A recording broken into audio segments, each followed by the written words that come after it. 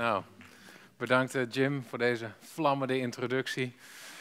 Ja, we zijn ons aan het verwonderen vanavond. Ik verwonder mij over kleur in de natuur. Hoe kleur gebruikt wordt om te communiceren.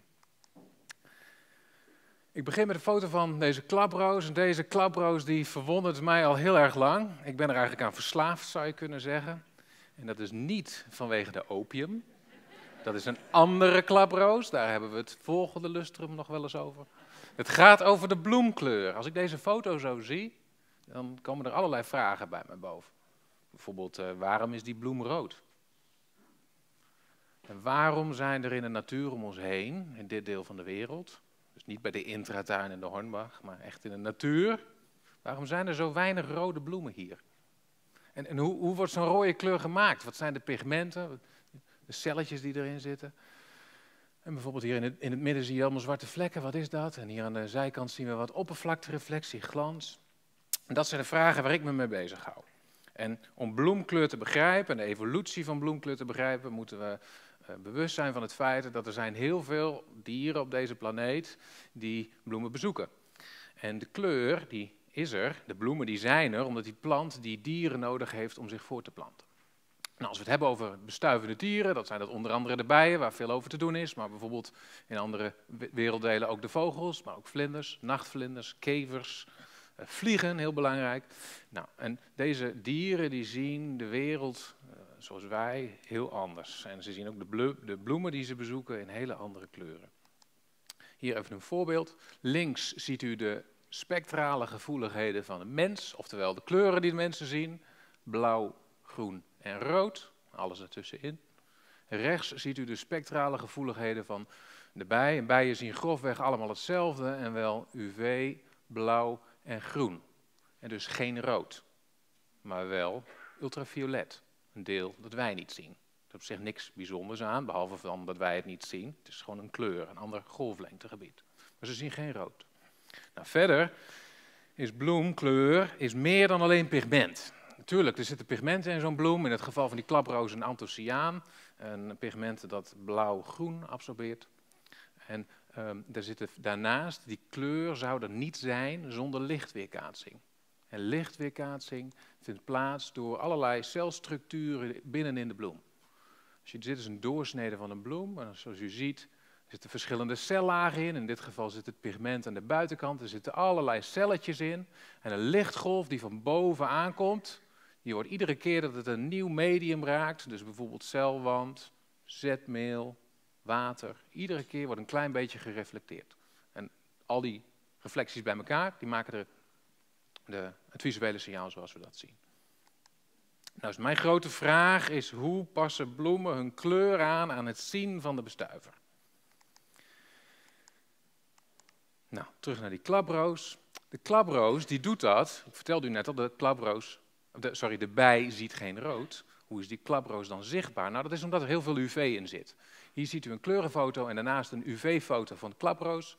En alles wat heel licht is, dat is een hoge UV-reflectie. Oftewel, die klaproos is niet alleen rood, die is ook UV. Daardoor is hij niet zwart voor de bijen, maar fel in het UV. Nou is er met die klaproos wat bijzonders aan de hand, want die klaproos die komt oorspronkelijk uit het Midden-Oosten. En daar heb je ook rode klaprozen, prachtig, maar die zijn donker in het UV. Oftewel, die zijn alleen rood. En hoe komt dat nou? Dat heeft ermee te maken, in het Midden-Oosten, tot aan Griekenland ongeveer, wordt die klaproos bestoven door een kever. En die kever die ziet rood heel erg goed. Dit is een foto die ik drie weken geleden in Griekenland heb gemaakt op veldwerk. We waren op zoek naar de klaproos en de orchideeën en de kevers. Allerlei andere planten die daar staan. En die kevers die zijn de bloembezoekers van die klaproos daar. En die bestuiven die klaproos en die vinden elkaar daar. En die zien heel goed rood licht. Oftewel, die klaproos is ooit vanuit het Midden-Oosten naar Centraal-Europa gekomen. Hier waren die kevers niet, en daar heeft wel de bijen. En daar heeft de bloem zich op aangepast door ook ultraviolet te gaan reflecteren. Nou, we hebben dit breder getrokken. We hebben de laatste jaren allerlei groepen planten onderzocht, waar binnen een groep, bijvoorbeeld de petunia's, de koekoeksbloemen, de tabaksbloemen, binnen die groepen zijn allemaal onafhankelijke switches geweest naar een andere bestuiver. Bijvoorbeeld van bijbestuiving naar vogelbestuiving. Bijen zien geen rood, vogels wel. We hebben allerlei van dat soort losse switches onderzocht om te kijken hoe passen die bloemen zich aan en zijn er bepaalde wetmatigheden in wat je, wat je ziet als er een switch is van het ene bestuivingssysteem naar het andere. Wat dan blijkt, bijbloemen, bloemen die door bijen worden bestoven, zijn zichtbaarder voor de, voor de bij dan vogelbloemen. En vice versa. Oftewel, bloemkleur past zich aan aan het zien van de bestuiver. In de klaproos en in allerlei andere groepen. Nou is er nog een ander interessant fenomeen in de natuur. En dat, is het, dat, dat raakt aan het tweede aspect van kleur, namelijk de structuren. En in de natuur zijn los van elkaar allerlei glanzende kleuren ontstaan. Bijvoorbeeld de boterbloemen, maar ook eh, de neon tetra, een populaire aquariumvis. En die, die, bloemen, die bloemen en die, die vissen die hebben een heel erg sterk glanssignaal. Ik heb een voorbeeld meegenomen, want het is een van de organismen waar we dat aan onderzoeken. Dit is een tropische morfovlinder. Een van de meest briljante structuren in de natuur.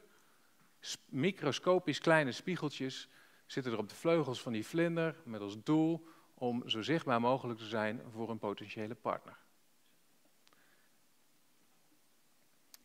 We willen weten hoe zit dat met die glans, want het is heel complex om te maken. We zien het is verschillende keren ontstaan.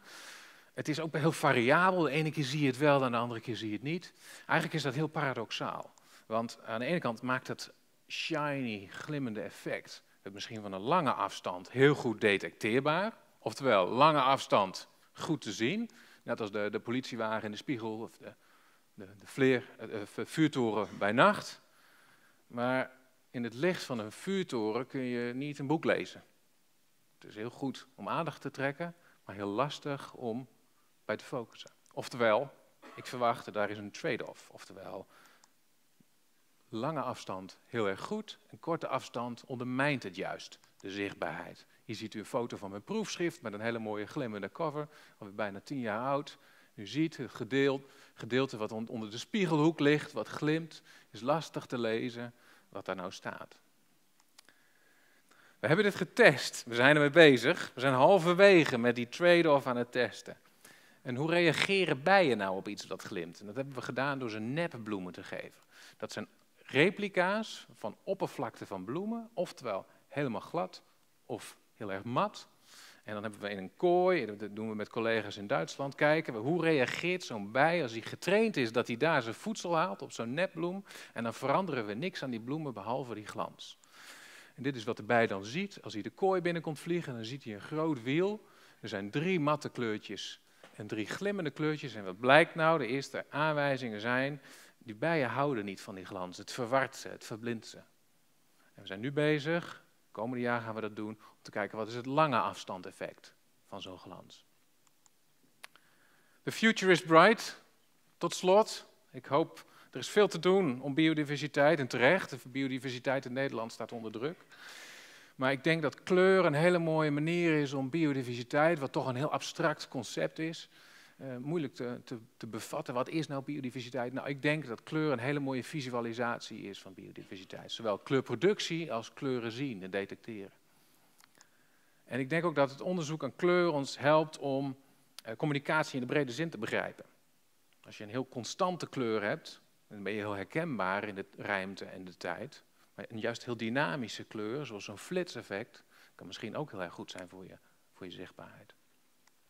En tot slot, ik hoop dat met ons onderzoek dat we meer kunnen begrijpen over de co-evolutie tussen planten en dieren. En ook hoe dat uiteindelijk bijdraagt aan het ontstaan van dieren. En hopelijk kan het ons helpen om ook de mooie, kleurrijke biodiversiteit om ons heen te beschermen. Dank u wel.